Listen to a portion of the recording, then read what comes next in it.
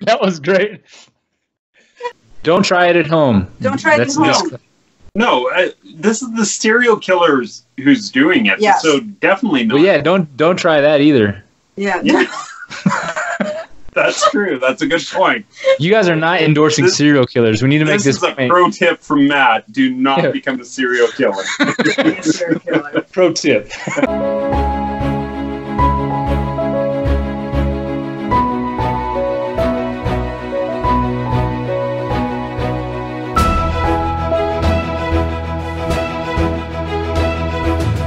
Angie and David, thank you for coming on the Uniweb interview show, the greatest show on earth and That's probably what I've heard. and probably the whole universe. Um, It's hot in Mars. it's hot. Is it is it warming up on Mars where you where you live right now?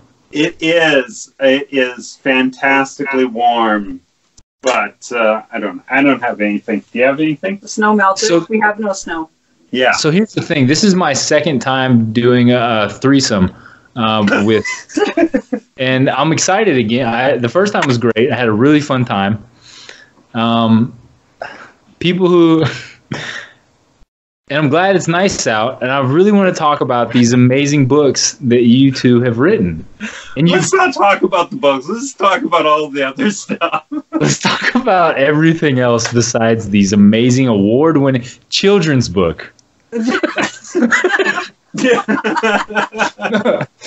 First of all, there's a threesome in it. Okay. There's a threesome. There's a threesome in the book. Yeah. That's great. Okay, so let's start there. Along comes a wolf. Yes. This is the this is book one of a series, correct? Yes, it is. Shepherd's Watch and Wolf in Shepherd's Clothing. And Wolf in Shepherd's Clothing. Yes. So what what are what are these books about? What is book one about? Let's talk about that. I, I'm interested. So the whole series is about two teenage boys who chase serial killers. So I always lately I've been pitching it a lot as it is the Hardy Boys meet Seven. Oh wow, Mhm. Yeah. So that's a that's a hard mix right there, bro. originally we used to pitch it as just um, the Har- it, this is not your parents' Hardy Boys, Uh-huh. but now we kind of like that seven because uh, right like in the first one there's we've gotten a lot of people who say in that first first section of the book it has made them scared of public bathrooms so that to us is a good thing Job well Wait. done. So there are people out there that are not afraid of public bathrooms. I That's what you're telling. have problem with it It's amazing. I've always been terrified of public bathrooms. You know What? what's weird? It, sorry, this is a total tangent, but one time when my my uh, my parents took us down to California, my Yeah. mother was terrified of me going into a bathroom in San Francisco. Like she was terrified and just worried about it. Do you know like I don't think I don't think um like bathrooms at like ballparks and stuff like that are the worst. I mean they're just they're just giant troughs for with urine and, and Are they? feces. Do you guys have like the horse trough? Yeah. Really? I I've only seen that once, and I thought that was the weirdest thing in the world. It is the weirdest thing in the world. I don't know who was like, let's just set up a whole giant tub for dudes Yeah. Let's just Whiz have in. urine tub. Have you never known? Angie, what are your I'm a thoughts girl. on I this? don't pee in a trough. We're It's different. we're just dirty, dirty boys peeing in troughs. Yeah, are there Angie, how many? Do you not know about this? What the hell kind of question is that? This is the kind of questions. This is the kind of questions we like- ask here. I love how in like a minute we just nosedived into. You know what? I gotta say, like I've been watching your show. I've watched WB. I watched DC, and it they were like professional level interviews here. Yeah, what's wrong with you? It's, it's us. I know it's us. It's not you. It's us. I've hardly said anything yet. it's You told okay. us You don't pee in a trough. Well, because you Yeah. asked me how I don't know about these toilets. I love toilets. this though. This is this is what makes great television. People love watching train wrecks. Um, Holy You talk. Okay, Angie. Let's. I Yes. want. I want. Okay, so that's what David thinks this book is about. What do you think the book is about? I actually agree with David. That's a really great, precise description of what these stories are about. Tell Okay. tell them about who Shepherd and Wolf are. How about that? Tell them about. oh, that's their name, Shepherd and Wolf. Yeah. That's So- why we're so tricky on the titles, I right? like it. Wolf in Shepherd's clothing. Wink, You are wink, tricky. nudge, nudge. yeah. We thought about these things. So, yeah. Oh my god, right? that's great. It's hot in here, Dave. It What is is happening? really hot. in Open here. the window. Sweet Jesus. Oh my god, I It's love 'cause we're this so cuddling much. with each other. I actually never realized how much you talk with your hands until there was no space between us. And it's like I just keep leaning away. I'm going to get slapped backhanded. Okay, tell them. ab- Yeah, please, Angie. So tell us, tell us about this book. So he he hit it out dead on the head. It's about two serial ki- or two boys that are serial killer chasers. They chase serial killers. Yes. Yes. Okay. What, would they not want to chase tornadoes, or were they like? We don't can have chase- a lot of tornadoes here. So you have a lot of serial killers in Canada. Yes. Apparently we do now. so yeah. So okay, Angie, where did this where did this idea come from? What's what's the what's the deal? You guys like serial killers? Well, Dave, Dave does. I'm going to blame Dave.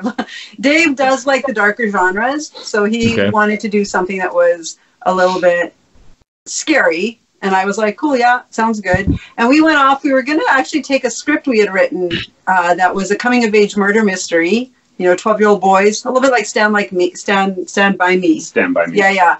Okay. Um, but uh, we worked on it for a few weeks, and we came back to have a meeting. And I, I think you asked, "What do you think?" And I'm like, ah, "I don't know if I like it." Dave's like, "Me neither." Good, let's scrap it. Poof, gone. Three weeks work. Nobody cares. and Hey, that's a whole book for me. I know. I know. oh shit! We should have kept it. oh no. Wait, so you don't have it at all? No, we have it. We have the script. Oh, okay. I have it. Yeah, we I, have. have the, I think I have the book still somewhere, like the work you did on it. Oh, really? Yeah, that's awesome. I don't throw anything he doesn't away. throw anything away. That's Good. Okay, so So then, yeah, so we started talking about different ideas and different stories and what would be interesting. And I'm like, what about something in a high school? So I'm a high school teacher, and you know, they're sketchy places. and I know that I know the teenage world, and it's pretty dark sometimes. It is So- all those hormones. Yeah, all sorts of angst and darkness and weird. Oh yeah, all sorts of things. so this is why I never let her talk. What? I don't know. oh, I'm like, what did I say now? I'm actually not even swearing. yeah, you're good. Thanks. Awesome. Anyways, continue. So yeah, we just started. We decided we wanted a bad guy, where we kind of came up with a bad guy right off the bat, and decided that he would. Um, can we tell him what our weapon is? Because then we can lead. Yeah. Yeah. So Yeah. the weapon is uh, a plastic bag, so asphyxiation. Pretty dark. Now, What's here's the affix- asphyxiation? What? What's asphyxiation? And that's when you put like a plastic bag over For your those who don't know. Okay. and and then you can't, and then you basically are smothered, and then you're smothered, and you die. I shouldn't be laughing. That's not funny. Um, Don't try it at home. Don't try it at home. No, uh, this is the serial killers who's doing it. Yes. So definitely not. Well, yeah, don't don't try that either. yeah. Yeah. That's true. That's a good point. You guys are not endorsing This- serial killers. We need to make This this is a pro tip from Matt. Do not Yeah. become a serial killer. Serial killer. pro tip. don't do It's it. important to have those. Chung, chung. Hey, that's why they have disclaimers on things. I mean, people eat Tide Pods. You know what I'm saying? Like, let's- yeah. That's absolutely true.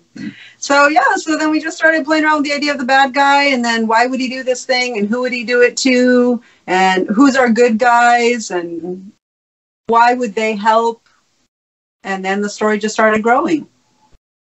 And okay. then we wanted to write a series of them. Like it was like a really open ended kind of plan, right? We figured if we started writing it, it would slowly gather up like a snowball a bunch Yeah. of other readers, right? If we're on book three, then other people will be like, "Oh, I got to check out book one and and come Right. along with the ride," right? So we were doing that, and then I think that was our plan when we were writing this one, and then we got it out. And just so you know, that this is not. Sorry, am I almost hitting you in the face? Again, no big Okay. deal. I can take it. so this was not the original version. We actually had self-published it through Kindle, Uh-huh. where I did all the build on the book, This guy right here. and we got her cousin to do the cover, and I'm sure there was other stuff. And so this was the original version of it, and then I came out of it because I was uh, the night before I was going to put it as an ebook online. I I I don't, I don't remember what it was, but there's like a coding error in the ebook, and I had to go into the code and fix it. And it felt like the the night before you're trying to hand in that big paper in university or college, and it was stressful, and you're you're exhausted, and you're tired, and freaking out because you only have like page one of a 20 page paper. yeah. That was how I felt. And I, so I walked in the room and the computer was open. There was a black screen with green letters, and I was like, "Holy shit, Dave! You opened the Matrix. Why did you do that? What did you do, man? Oh no!" Whoa. Whoa. yeah, that was way better. There you go. Whoa. Um, so then I did that and I hated it and we sold it. Like we put it out there into the world and then no one, like we did our first initial sales of our friends and family and then no Yeah. one else really, like it was online, but no one was buying it, right? Your friends and family buy your book? yeah. We did Wow. pretty good sales. It's nice. Yeah, it was like 150. 150 must must be nice to have friends and family. Thanks for making me feel like an idiot. No. You're welcome. Pro tip from Matt: Have Pro friends and family. Try to get a family, maybe you dumb dumb. Sorry, I'm see now I'm bringing it off the rails. I apologize. Okay, Uh. Okay, so okay. so it then- sucked. It sucked on Amazon. and and it was we were exhausted. We weren't marketing it, and then I did this develop business development course for artists, and I was like, okay, I don't want to ever do the self publishing by myself again. So then that's why we ended up going with a it. It's called a partnership publisher. Okay. So, um, we we pay for her services of building the book and helping do the edit and and design. And when we first started out, it was you know we barely knew her. We met her over a cup of coffee. She was local, um, and we like she brought her own books to the meeting and showed us what she was she did and everything like that she had a portfolio. she had a portfolio yeah she'd been doing it i think she was at 15 years by that point Wow. so and I want to Oh, say sorry. too, the cover the cover is fantastic. It's it's really nice and clean. I, I really one? like the cover. Yeah. yeah So there's a the, story. the first one's okay. okay but there's a story here Okay, let's hear it. So our design, our our partnership publisher designed the cover like she does, and uh, and then she sent us a mock up, and she said, "What do you think?" And there was a three way conversation via some social media platform, and it was pretty cool. It was sharp looking. We liked it, and then she. but it was like a plastic bag and that was it yeah, it was this crinkled plastic bag with like the writing, and so then we get off the phone with her, and Dave because it's the murder weapon and Dave Right. was like, "What do you really think?" And I said, "Well, it's really sharp, but it's not menacing." And so we kind of left the conversation at that. And so I'm in my house in my sweats, hanging out, thinking about what's menacing in the book. You know, the the killer's menacing to the girls. The plastic bag is menacing. The the boys who are chasing the serial killer are menacing to him. So I'm kind of all these thoughts, and then I'm like, plastic bags. Hmm. So I go under my sink and I pull out a white plastic bag. Is that and I put it over my face, and I took a selfie. is that what that is? That's, that's angie's face yeah Oh my god. And then, but I took a couple of selfies, and then I like lift the bag, and I'm like, crap, it's the door. I took like three or four pictures of the door because I hadn't reversed the camera. because her head's in a bag I, Yeah. I couldn't see what I was doing. Then I got it right, and then I sent it to Dave. Uh, first, I said, "Hey, Dave, I did something weird tonight," and I sent him the image, followed by, "Please call mental health." That's like, right. This, this is not okay. But it, the sad thing was, I was like, yeah, that's cool, awesome. Okay, moving on. No big deal. like it's totally Yeah. totally normal. All right, yeah. putting a plastic bag over your head. It looks cool. Like it's a It really cool picture. It looks It does. professionally done too. And it's just off of an iPhone, too. Professional bag lady. That's Yeah. uh, Uh, yeah. But the other two, the other two are stock photos, so, but still designed by our our lovely publisher. so, Yeah. I want to ask this: how how do you guys go about writing a book together? Because I, I I brought this up before I started recording, and Yeah. I hate when people touch anything I do, and with my writing. How do you guys coexist in this? Do you have certain aspects that you write, or do you like how, how does that work? Do you say like you write these characters, I'll write these characters, like you write the end, I write the beginning, let's meet in the middle, like uh Do you want I- to start? Yeah, sure. Um, so this is. Do you want to start? Okay. Uh, that's actually funny because I usually start. Um, I think we did a lot of practice script writing before we actually wrote novels. So we got really good at getting the tone and voice of people, of characters in a story. So then Uh-huh. when it was time to write a book, which is really just like four scripts in a row, like that many pages or words, um, Yeah. we basically get a really solid outline. Like, Okay. like every beat is filled in, and then, and then we What? I'm laughing about the jungle metaphor, but Okay. I'll get there eventually. Um, anyways, I always begin and I just start writing, and I've got the outline that we have agreed on. And if we're going to duke it out at any point, it's going to be during the outline. if you're gonna do get out, Duke it out. Like, oh duke it out. Okay. yeah, like have like have a fight about a concept, an idea, or a character, or what happens to them. It'll happen during the outline, Okay. and then Usually. We Usually. still have a. Well, yeah, fights. but that's okay. I mean, the main the main stuff, and then I write until about the halfway point, Uh-huh. and Dave comes in behind me and he starts like checking my writing and my the the what I've added and haven't added and how far off the path I've gotten adding stuff. And he starts cutting and changing and it's all good. Like I actually do not have a problem with it. The only time I actually got stressed out was there was a thing on our on our on Wor- was it on Word where I I, think we did on Word, where, yeah. on Microsoft Word where we could I could see every change and that stressed me out. It doesn't. I don't care if he's like because the ultimate goal is to write a really good story. Yeah. So, okay, you didn't like that part. That's okay. And credit to Dave, he never throws anything actually away. It's never gone. He has like a special Good. bin. He stores all the things I've said, and he has this really great way of like putting them in other parts of the book. Yeah. So that's cool. So then I go to halfway, and then Nice. by the halfway part, I'm like done. And he jumps over me and he finishes the second half of the book. And I go behind him and read what he's written and make my comments and changes. And then we do a couple more passes after that. We do a lot of passes Yeah. after that. So that's kind of how we write. Sometimes we dig our heels in about ideas. Like there was a scene in Along Comes a Wolf where Tony Shepherd, who's our cool all star kid, um, he's at a party and he's like trying to like get a girl.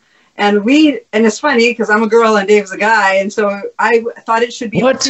I know. I was shocked too. so I was like, I don't see like gender. and I don't see gender.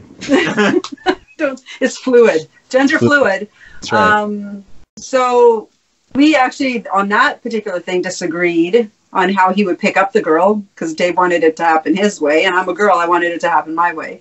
So there's been times, right? where That's we- well, how did uh, how do you how do you pick up a girl? I would love to know. I don't know if Dave knows either. Yeah, I- David, okay, uh, David. What was I'll your, find what it. was I'll find it here. which method did you go with? Which method did you go It with? was both. Uh, So you used we both. went with we went with Dave's idea, however, ended changed added something to that scene because he was like, "No, I think it should really be like this." And he said, "But what if this happens at the end?" And I'm like, I think. "Sold." I think the trouble. the Can I guess what Angus- Dave? Can I guess was what Dave did? It was too cheesy. Was Angus? I think in my mind. Yeah, can I But guess what made- David you was? made him look like a player, Yeah. he wasn't a player. But we had to pull it back. That's all. Yeah, that's what I. so Dave, you had a you had a really cool pickup line, I'm sure, and he was doing something really neat or something something that was like I'm a Look at me. I'm not the player in any way. I know, but uh, but it doesn't mean you can't write that. And Angie, Yeah. you probably had him doing something real sweet and nice and like Yes. bring you home to your mom kind of deal. Here's a flower. Yeah, it here's- was, it was like it was Like like, I really, I, I I blowing really, the, it was blowing the eyelash or You something. You did. You did that. I did the eyelash. you did the eyelash. Oh man, that's embarrassing. yours was super cheesy. Let's Was- cut this interview. I'm out of here. well, Wait, so the so the pick so there was a pickup line and there was some cheese thrown in as well. yeah, it was a balance. It was a balance. What was the what was the pickup line? I don't remember. Do you remember? no. That's like two, three years ago, man. We don't read the books we write. We just Never. Oh, if you quizzed us on the stuff, we I think I I epically know. fail. I. It's funny because I, I right now I'm working on book four on my section, and I will constantly be like, okay, what did we actually say in that book at that point? Go back. Reference our own writing. Yeah. Okay. I can imagine. Because- Well, going through so many drafts too, right? Like having to revise so many times. You're like, Yeah. wait, which one did we go with? Like, Yeah. I can imagine Yeah. that's a, a nightmare. It is. And our, our partnership publisher, who's also our editor, is amazing because at one point she sent us a note and said, "Hey, you spelled this character's name differently in two two parts In two different books. in two different books." We're like, "Gosh, shit." So we're like, "Dang, Damn. we have to change that." So yeah. it's a lot of intel, like like so much information.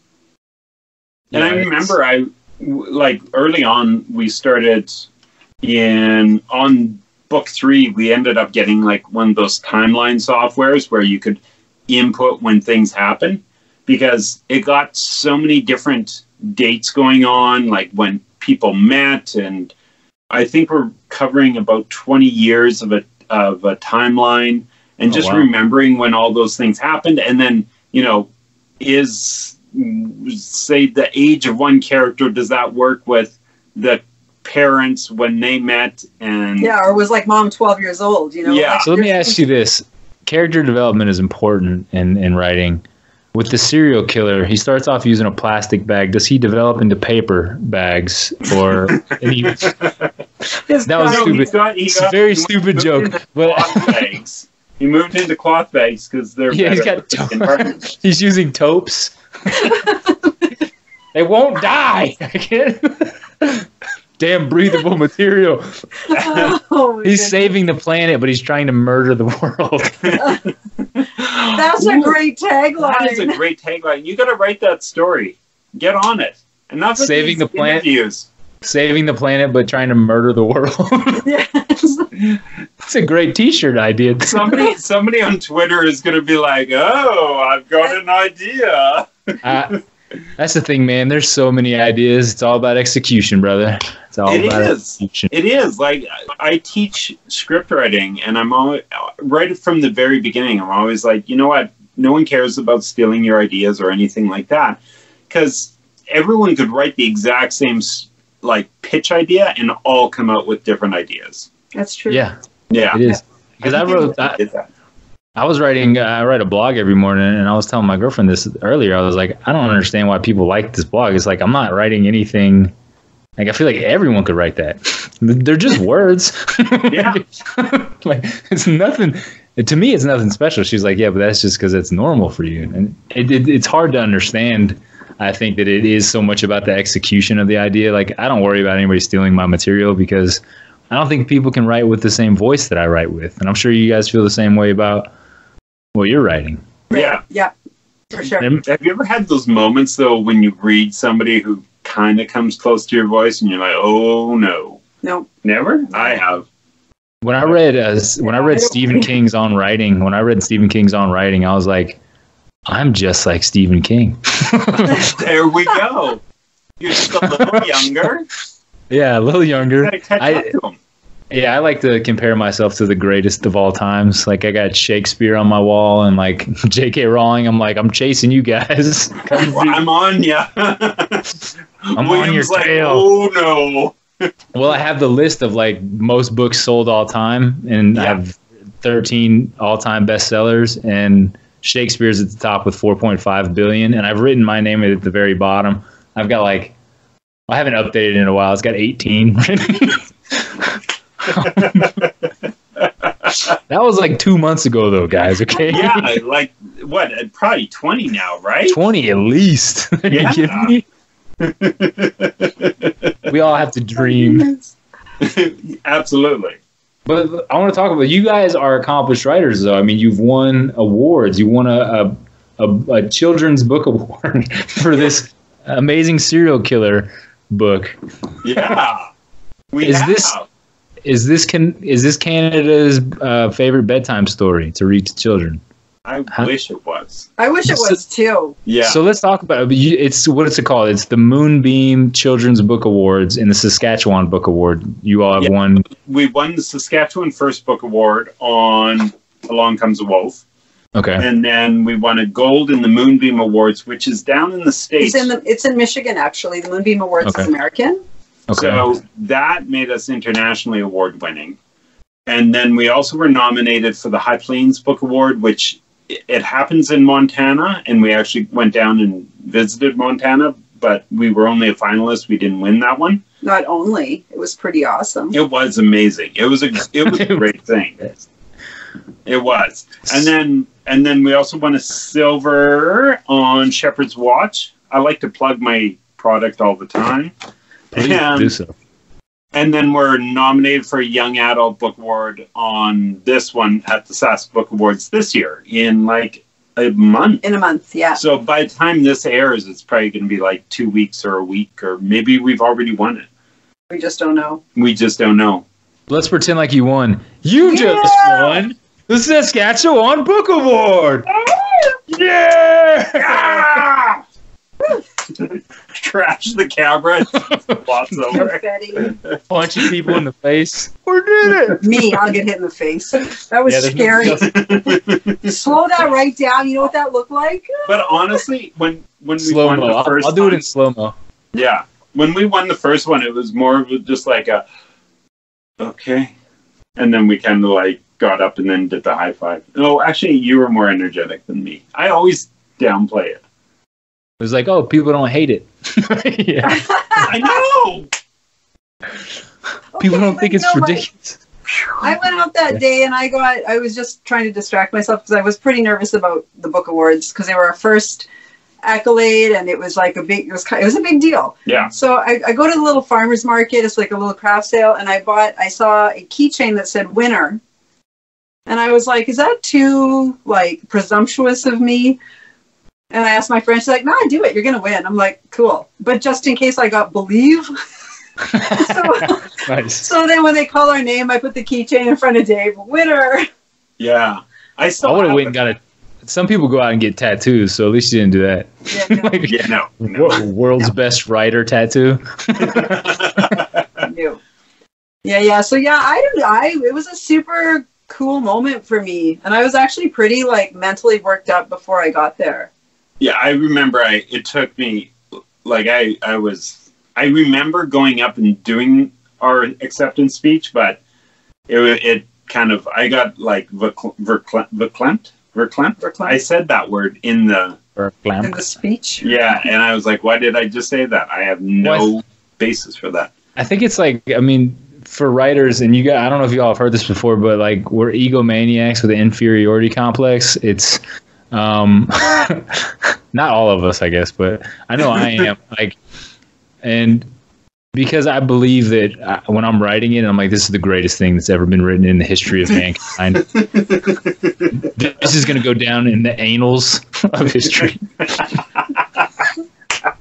History's butthole. We'll never know. you know, and it's like the most exciting thing. But in re- like as soon as I put it out there, I'm like, don't read it, don't read it, because Yeah, that'll smash that'll smash my dream completely. But then when you then you get good feedback, and you're like, I am the best in the world. It's I it's a really cool thing. I knew. I knew Yeah. exactly who I was. I told you, mom. I'm in your face. you never believed in me. Nice. That's great though. So it's great that you guys have won these awards. In so was there like a cash prize involved? There Yeah. was, but we didn't. We didn't actually know. I didn't know about it. Did you know about it? I don't. th- I don't remember. So we get the envelope. Like it's a. It was my boyfriend calls them the book Oscars, Okay. which is super cute. So we go. We go down there and we get called. You know, the nominees are, and they list the three books, and the winner is, and they called us. So we get up and we go up there. We give our thank you speech. We come back. They take some photo ops in this like archway place, right, with It was pictures. a. It was an archway of books. It was cool. And then we Nice. sat down, and it was what the moment of like, holy shit, this just happened. This is amazing. And then Dave opens the envelope they gave us, and there's like the certificate, and there's a few other things, and then It was a check. there's a check. And we both look at each other and go, oh my God, there's a check. And the publisher and her husband, he looks at his at our publisher, the her husband, and he says, Didn't they know they were getting any money? she goes, Doesn't look like it. so that was awesome. That's a great surprise. It was. a It great- was. Yes, it was. Yeah. Well, I've asked this question a couple times on Twitter, and I, I've, I've always wanted to know, like, from people who've actually won a, a book award, um, like, would you rather be an award-winning author, or would you rather be a best-selling author? We got the awards now, honey. Let's do best selling. Why settle for one? right? I uh, I would pick. I would. I'd pick best selling. Yeah, Um, I like the awards and and everything like that. I just you, know, you think it's strange it doesn't match up? stories out there, right? Yeah, don't you think it's strange it doesn't match up though? Like, you would think the books that win these amazing awards would also be bestsellers, like they're because they're being held up against the competition of other books. Like, what's the deal? I- Why I aren't don't- they? Don't they? Don't they get uh, like for anything? Don't they get a bump though when they are award winning? I would assume, like, knowing that your book is an award-winning book, I'm definitely going to read it now. Before, if if it wasn't, I'm just kidding. It does, but it does. It does definitely give a bit of credibility. Like it's nice to Absolutely. be able to say, "Hey, by the way, we are an internationally award-winning series." Like, yeah. yeah, Yeah, because peer like peer reviewed like against other books, either in its genre or just like fiction books, it's the best out of the best. Why wouldn't you want to read that over? I mean, because it's basically like having a thousand good five star reviews or whatever. Like it's it's like a, the best review you can get. yeah, absolutely. And, That's and- why I buy books as reviews. Yeah, well, for me, it's always what other people are saying. Like when I'm on Twitter and people are talking about a certain book, I'll be like, "Yeah, okay, I'll check it out," sort of thing, right? I think Yeah. too, though, when you you give your work to family and friends, they don't want to hurt your feelings and tell you it's shitty. They all they all tell you they love it and it's really good, and you're like Some "Hey." people's family. good. But when the industry says that you've got a good product, then you're like, oh, phew, okay, good. We got, you know, we're like doing something right. Not that Yeah. we don't give our, fa- you know, friends and family credit. Thank you. Yeah, I was like, "Whoa!" But they care about us and our feelings. Yeah. Right? It's hard for yeah, it's hard for loved ones to like s- They'll give give you give you any kind of criticism because they're just proud you're not like you know on the streets or yeah, precisely. Yes. like I never thought you, you used to eat your boogers and like like I've never thought you'd have written a book. This is incredible. it's Yeah. not made of boogers. Ah, It's, amazing. And so is this something you all have to enter the the book award the the competition? Do you enter it yourself or is it nominated by fans or or how does that work? everything I think you have to enter into. But one of the things, one of those great things of moving over to our partnership publisher was she was the one who was like, "Oh, by the way, this awards is these awards are coming up. Do you want us to enter these books? What categories?" And then she'll do all the work for us and just send us the bill on it. And it's like, "Yeah, thank you very much." Right? So, Yeah, um, it's, it's huge. it having having that support is fantastic. So yeah, Well, and really, because I'm not writing is three years new to me. So when we got shortlisted on Along Comes a Wolf, and the, the TV guy was interviewing me, and he goes, "So what do you think did, about the book awards?" And I said, "I didn't even know about them till today." like was, it's like, And he's like, back to you, Tom. awesome. All right. In the weather. Great. This is why I do my job. Uh, back to you, Tom. I had no idea. I didn't know about them, and so the publisher was able to like push us towards some of this stuff Yeah. that I, w- I didn't know. How would I know about this? Yeah. I'm not part of that world, or wasn't. Am now. Well, how do you like being in the, the writing world? You're so you're you- like you said you're a high school teacher. You teach art and English, um, so you're obviously a creative mind. How do you like transplanting from teaching young minds to not be so dumb to what you're doing now? Not dumb, uninformed. I don't know. Who cares? Dumb, dumb, dumb. I have two teenagers. You do have two teenagers. um, well, because I, I, because I write about teenagers, I think it's actually on me to be. I think I wouldn't have done a good job if the kids are like, "That wasn't very good, Miss C. You didn't do a good job on that," or "We don't talk like that." But the kids who read it like it. Oh, wow. So, which is, I mean, I had a kid. He, I have silent reading for a few minutes every day in my class, and this kid comes over and he says, "I don't have a book." I'm like, "Here." I'm not. I'm like, "Here, take this." yeah, read this. It's by some unknown authors. I don't know. Yeah, who they are. Why's your Why's your picture in the back? I don't get I get don't know how that ended up there. Yeah. So he quietly read it and didn't say too much. And then he comes when he was done. After a couple of weeks, he came over to my desk and he said, um, "Can I have the Can I have the next book?" Like quietly, like he didn't want his friends to know that he like enjoyed it. And I'm like, "Sure." So he takes it, and then he comes back at the end of the week on Friday, and he's like, "Can I take this home for the weekend?"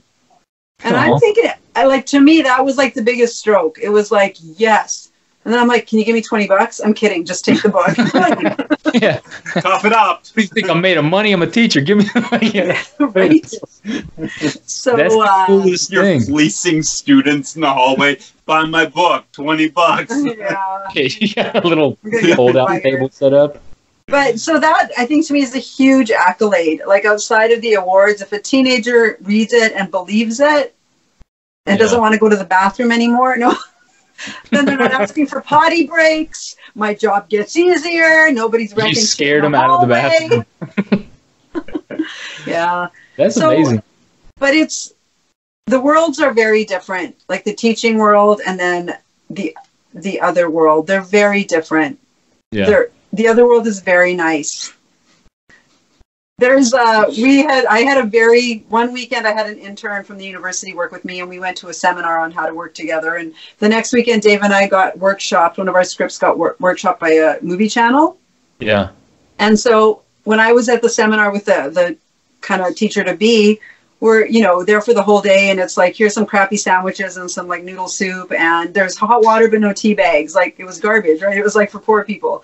The next weekend we're with the movie industry, and it's like it's like here's your beautiful spread for breakfast, and we bring you carbonated water with lemons. Oh, yeah. They give us like eggs and. Yeah, every and hour everything, we had a different beautiful buffet of something exquisite. And it was like, holy crap, man, the other side lives really well.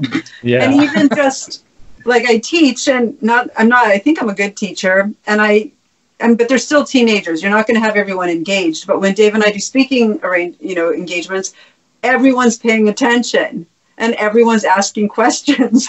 And Yeah. then they have like beautiful snacks again. I'm all about the snacks. And and, and beverages and it's Actually, writers are really interested in the snacks because the two other authors that we are in competition with for this book awards, I've Yeah. been going back and forth with them on Twitter, and all that they talk about is the food. like, who can eat the food fastest? That's the competition. you guys are having eating competitions during Yeah. the book competition. That's all they care about. So. so yeah. So they're very different worlds. They're very different worlds. They're both very nece- necessary as well because I mean, teachers don't get nearly as much credit as they deserve. I know when I was in going going to school, I was an absolute horrible, horrible student. Like I don't know how I got into college. I was terrible to I was terrible to the teachers. I apologize. They were just trying to get rid of you, move you on. They were man. Like I don't know how the hell I got. I, like I got a I got a academic scholarship, but I played football. So I mean, oh, okay. that's what it was. It's but I, I mean seriously, because kids, are- I mean that age is it's very difficult because there's so many different things going on, and we were talking about this before, David. But like you see the you see the kid or the person, and you just think, oh, that's who they are. But the stuff behind the scenes that nobody has any pri- privy to, it's just like if you knew what the kid was going through. Like Yeah. it, and it's not. It's like the teacher doesn't have that avail- availability to find that out, and the resources to to help these kids that are dealing with these things. It's like teachers are godsends, or good teachers are godsends because they can really change a kid's life. Like my eighth grade teacher gave me Harry Potter.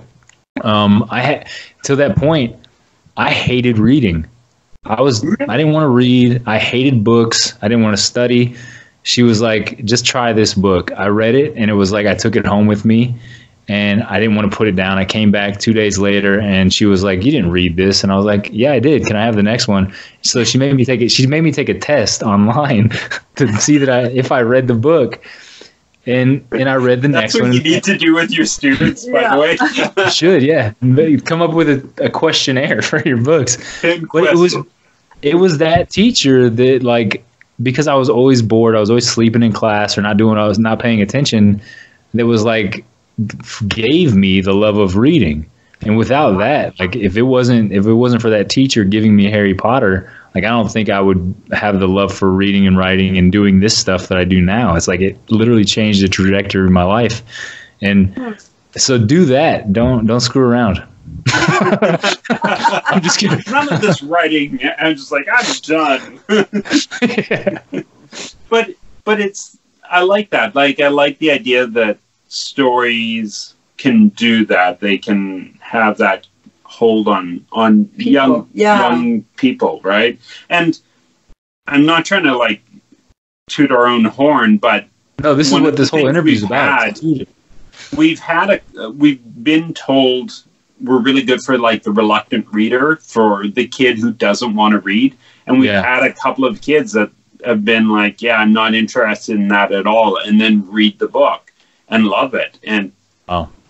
we didn't like it wasn't intentional but the things that we did intentionally for the way we built our book it seems to have paid off for yeah, us so for sure. yeah because Yeah, 'cause I- we have short chapters, like one to three pages?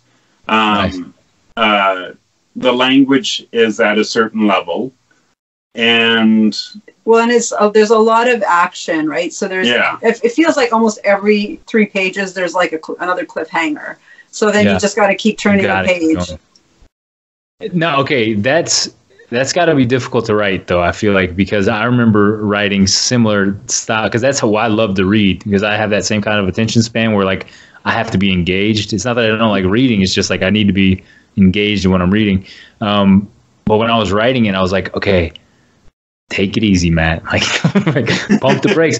I felt like I was gonna wear out the reader. Like, do you feel like you're when you're writing that way, you're just gonna like, no, you don't feel it. You're just no, like, we're no, like come on. Here we go. Well, but even then, like a part of it. First of all, the the short chapters are always because we wrote scripts and we took what we learned from script writing and applied it to book writing. Right? Yeah. Short, tight scenes, keep moving along.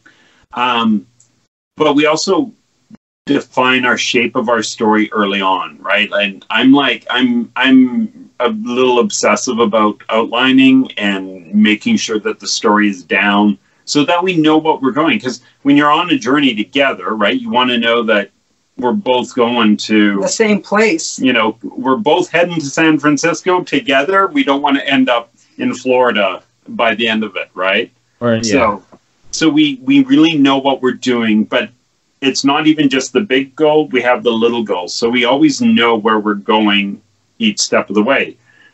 But in between those, I and I'm always about like lean and mean and strip down. And then whenever Ange writes, she likes to wander in the daisies and and check things out. And oh, true. there's something shiny over there. I'm gonna go check it out. And so when I come into it, I'm like, okay, this is way too much wandering, but I can take this and shape it into something. Like even today, I'm working on book four, and she has the characters doing this long trip, and I'm like, okay, well, that's great, but it doesn't really move us forward. But I'll Right. take this little section, and it shows us this little moment of this character reflecting on his life and the situation he's in and everything like that. And it gives those character moments. And Yeah. then, but we, he's he's always like, okay, I got to get back to the finding the dead body or finding the serial killer or whatever it is. So Right. But you're able to give the character more depth with those. yeah, Yeah. and it's and it's actually that's the thing that I've fallen in love with with our stories because when I I started into this, I'm like, yeah, we know how to write the story. Let's do that. And then as our characters have interacted, I just I like the moments when because the two boys in the series were from different worlds, right? Um, Tony is like the basketball star, uh, happy, good family. Um, uh, it's uh, his mom's Jamaican and his dad is like Canadian, and and then Charlie Wolf. Sorry, I'm not trying to hit you in the face. Charlie is like um, Took her too we we don't know a lot about him, and that's a part of the journey of the story. But you know, he's he's a smart ass troublemaker. He can break into. Uh, uh, he likes he likes breaking Houses. into schools and houses and stuff like that. He likes skirting the law as much as he doesn't can. really attend classes very much. But, you know. and then as soon as we started getting them together and then mixing those worlds as we progress through the story, like putting Charlie into Tony's world, it's it's just it's magical. It's so much fun because you want to see what Charlie's going to do in this situation or put Tony into a bad situation, which is kind of the way the first book was. It was Yeah. always uh, just like take how do you take a straight laced good teenager who's not going to break the law and make him start having to break the law to try and do good things in the world. Yeah. So Those moral Yeah. decisions. Yeah, you have to bring them. And it's Mhm. funny because uh, I remember, well, we do book signings and things, and this woman had walked by, and we said, Hey, do you like murder mysteries? Uh, and she's like, What are these about? And Dave said, It's two teenage boys who chase serial killers. And she's like, Serial killers? And she was really kind of disgusted and not okay. Like, she was actually a bit rude. yeah, Yeah. she was yeah And so I was, Well, maybe she was a serial killer and she was like, drawn to me. they're on to me. And so we kind of thought we talked about that when we drove home because it was in a different town and i ended up writing a blog post about it because i actually knew a kid he's graduated now but um, unfortunately in a store in our city there was a gang initiation like a mall. in a mall and so this Yeah. kid um, just some random kid had to walk in and, and stab somebody oh, so my student was in the mall and he sees this and he like where everyone was running away, he like full on like he body tackled him. He ended up getting stabbed in the side, but he did Holy it to crap. save every he didn't even hesitate. So, you know, it's kind of like that moment when, you know, something terrible happens instead of like running away like with a Boston bombing at the marathon, Yeah, right? There's people running to help. There's one bad person, but everyone else is running to help. And and I thought about this kid and I referenced him in that blog post because I thought, yeah, okay, serial killers aren't cool for sure. No. like they're they're terrible. But Yeah. I'd like to believe that in the world of all the crazy, there's there's more good than bad, and that there's good people like this boy that I know personally who is willing to like tackle this idiot, right? Who's who knows Yeah. what he's been through to have to be initiated into a gang. You know, like that's Right. another story. But I was like, screw you, old lady, and you're like, How dare you? how dare you? This is She's good. just mad because her kid's a serial killer. Yeah. But I, I, for me, and this is one of the things that I always believe in is that I, you know, the whole, you know, what's more important, uh, plot versus character or whatever, right? right. And I hate that because they're the exact same thing in my mind. Um, the the actions that our characters take uh, define our characters, but those actions are also the things that move the story forward, right? And Right. that's the same way in life, right? The actions that we take, everything like Yeah. that, and the choices that we make.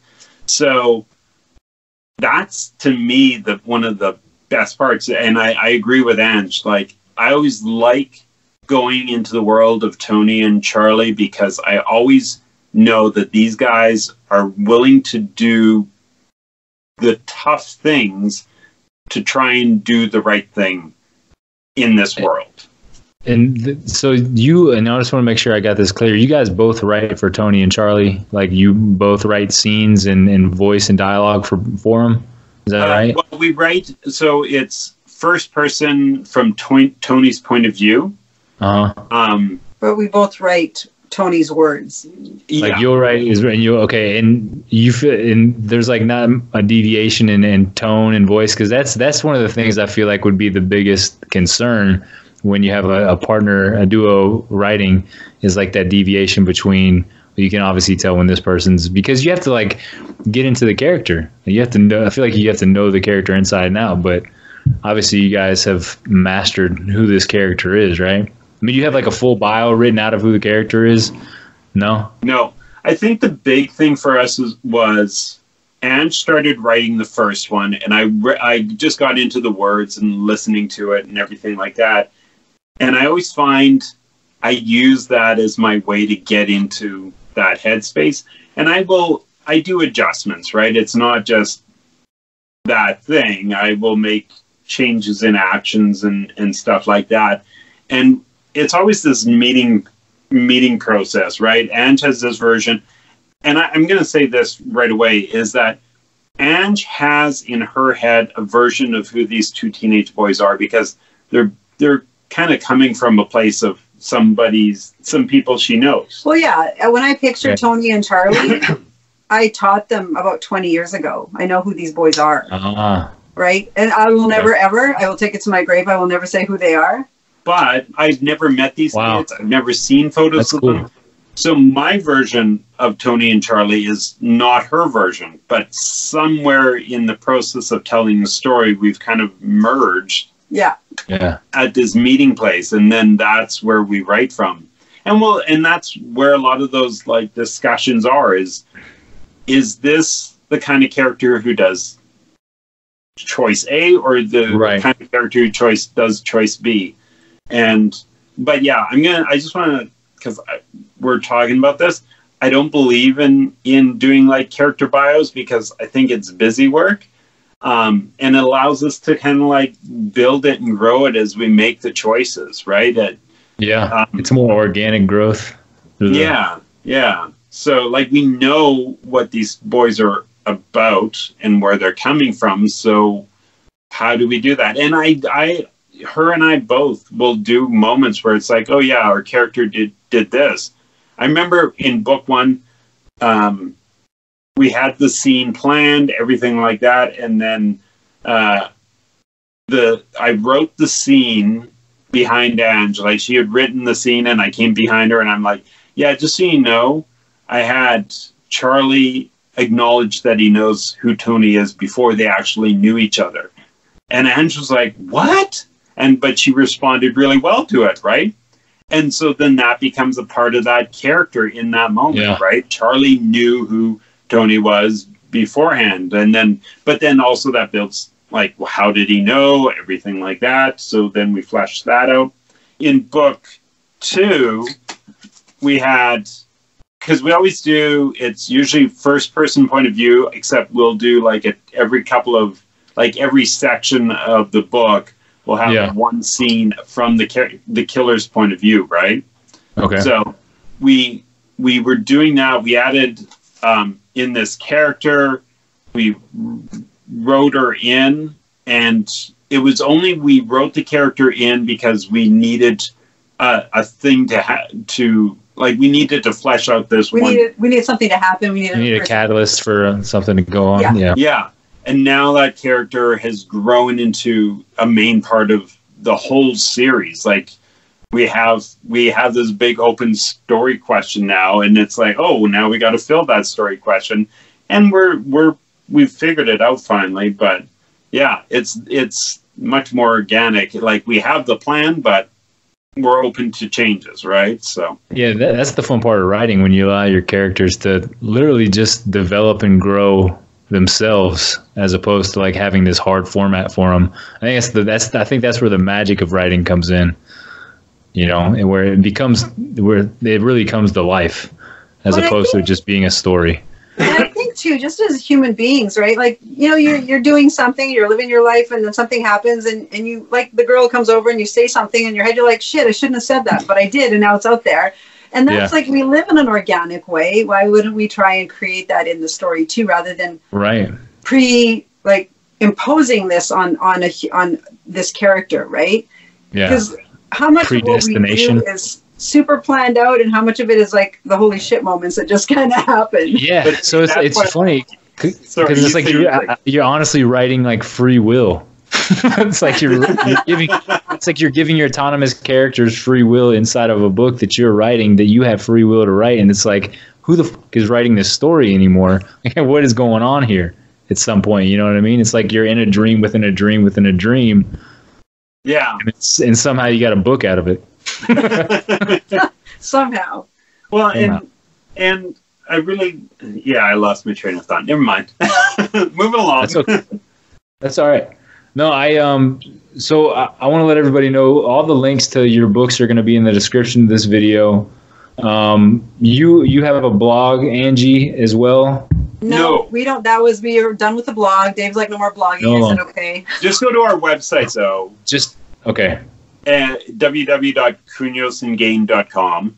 Kuniosia Um, I was gonna. Say, I can't remember either. No, no, no worries. Uh, so we have we have a Counios and Gane Twitter account. We have an Instagram account. Facebook. I saw that, and the, the Twitter account's called Dick and something else. What's it? What? I saw the I saw the I saw the Twitter account, and I thought this Okay, is no, no, no. interesting. So there's the, Kun- there's the Counios and Gane You made account. him blush. I think he's. I don't even know what you're talking about, though. So you know what I'm there's talking the about, Angie? No, I'm not Okay. making this. Okay, so there's the Counios and Gane account, but there was this at the start of this year. I totally decided to just kind of embrace my own Twitter account, Yeah, and it's it's where I'm most active. So if you want to get a hold of us, you can go to the Counios and Gane. But uh, the the person who's the most active is me on Twitter. on Twitter, and then she's active on Instagram and Facebook. And then, Okay. we, like everything, we mash it all together. So, and all I that's available on the website. yeah, yeah. You don't know what I'm talking about? No. Do you? I, yeah. I have no clue. Okay. Can I pull it up? I want to. I saw it because I I saw it the other day, and I was like, "What's going on here?" It's our new series. It's an adult only series. Seriously, I thought it was I was like, is this is this like hashtag Trey Gang?" Hold. I'm gonna.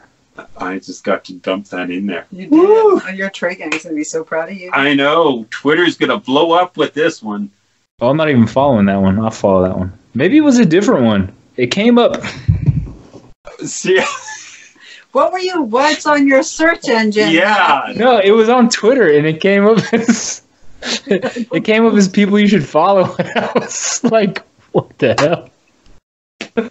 No, but it was your it was your pictures on there. what? and I made sure because I was like, well, I mean, I, I'll follow, him, I guess, but it wasn't like anything raunchy. It was just like you know that how Dick is a name for some people. What? Really? Was it us? Yeah, Oh, we've got because it was like it was like two days ago. hacked, but somebody's. It was like two days. It was like two days ago. Awesome. We're that big. I think. Yes. It's like who is it? Like when when you find out your kid is on a billboard in the Philippines. And you're like, wait a minute. that's wait, wait, good. that's not. That's yeah. I was on a milk carton as a kid. Um, oh my lord! so Oh famous. boy.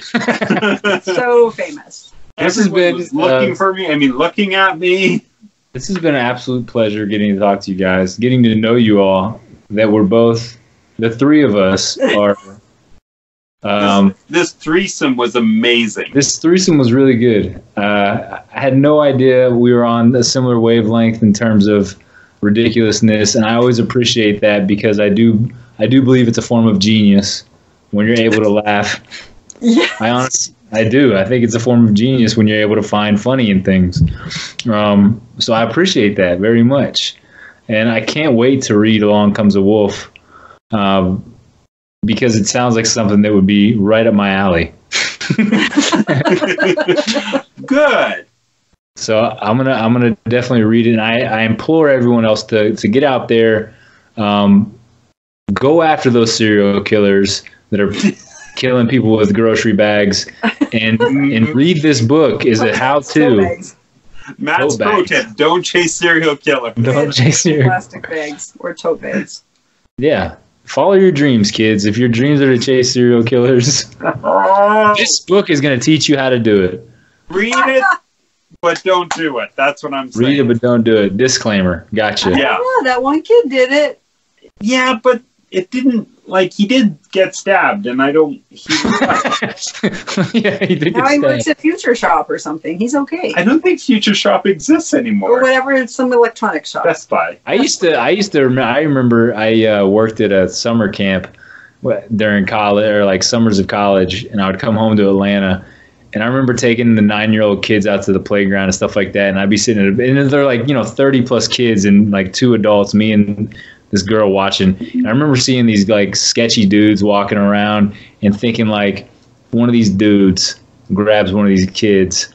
You got to deal with. I'm gonna chase that mother trucker down. Like I, I, was, I was getting. I felt like a like a um like a, a sheepdog watching my watching my flock, man. Yeah. I was. Shepherd and Wolf. That's right. There you go. Hey, I know what I'm doing. I've been doing this for. He knows I've been doing this for two months. I've got it down. I'm an award-winning uh, internet host guy. Nailed it. That lamp was an award. Oh, that, Rocky's in it for you, right? yeah, exactly. Yeah. That was that was sent to me by YouTube. Was it?